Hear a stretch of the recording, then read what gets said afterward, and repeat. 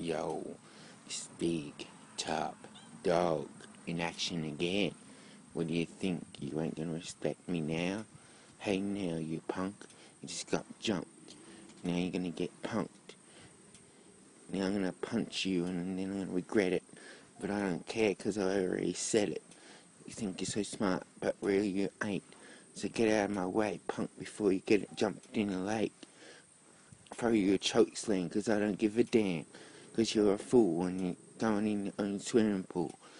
And I'm gonna say what I want to say about you because I don't even give a fuck about you.